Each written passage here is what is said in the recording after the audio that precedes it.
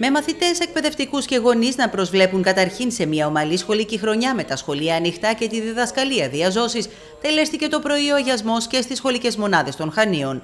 Οι κενές θέσεις εκπαιδευτικών είναι λιγότερες από τα προηγούμενα χρόνια και αυτές εκτιμάται ότι θα καλυφθούν στη δεύτερη φάση των προσλήψεων αναπληρωτών. Φέτος στο νομό Χανίων έχουν προσληφθεί γύρω στα 80 άτομα νεοδιόριστοι. Έχουν, έχουν έρθει περίπου 90 συνάδελφοι αναπληρωτές στη γενική εκπαίδευση και άλλοι περίπου 55 στην, στην ειδική αγωγή. Το πρώτο κουδούνι βρήκε μεγάλο μέρος της μαθητικής κοινότητας των Χανίων σε κτίρια πλήρως ανακαινισμένα και ενεργειακά αναβαθμισμένα. Παρεμβάσεις που στο σύνολό τους ξεπερνούν τα 11 εκατομμύρια ευρώ σε ενεργειακές αναβαθμίσεις αλλά και παρεμβάσεις πολλές σε ουσάβλιους χώρους αλλά και συνολικές αναβαθμίσεις.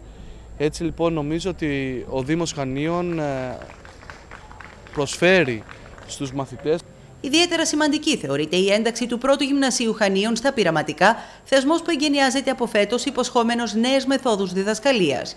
Οι μαθητές επιλέχθηκαν με κλήρωση, ενώ μεγάλο ήταν και το ενδιαφέρον των εκπαιδευτικών που τοποθετήθηκαν κατόπιν αξιολόγησης. Και πρέπει να πετύχει και θα πετύχει το πειραματικό γιατί θα λειτουργήσει ως φάρος για όλα τα σχολεία, για όλα τα υπόλοιπα γυμνάσια του νομού Χανίων. Και η δουλειά μας είναι να συμπληρώσουμε και τις υπόλοιπες βαθμίδες. Ένα πειραματικό δημοτικό και ένα πρότυπο ή πειραματικό λύκειο για να έχουμε έτσι πειραματικές μονάδες που θα εφαρμόζουν, θα δοκιμάζουν νέες μεθόδους εκπαίδευσης την ίδια στιγμή η αγωνία για τους γονείς σε σχέση με την πανδημία θα συνεχιστεί και φέτος παρά την εφαρμογή νέου υγειονομικού πρωτοκόλλου. Ανησυχούμε προφανώς όλοι οι γονείς ε, για το τι θα γίνει με τη μετάδοση και τη μεταδοτικότητα ε, των κρουσμάτων. Ε, ευελπιστούμε με τα self-test και όλη τη διαδικασία που είχε ακολουθηθεί και πέρυσι και θα ακολουθηθεί και φέτος να καταφέρουμε να μην έχουμε ε, μεγάλα προβλήματα. Ξεκινάμε πάλι δυστυχώς με μέτρα και με προβλήματα λόγω του κορονοϊού. Ε, σαν σχολείο έχουμε πάρει όλα τα μέτρα και ευχόμαστε να πάνε βέβαια όλα καλά, να έχουμε καλή σχολική χρονιά, να μην κλείσουμε βασικό. Ο Δήμος Χανίων πάντως έχει εγκαίρως προχωρήσει στην πρόσληψη υπαλλήλων καθαριότητας, προκειμένου όλες οι σχολικές μονάδες να διασφαλίζουν άριστες συνθήκες υγιεινής για μαθητές και εκπαιδευτικούς.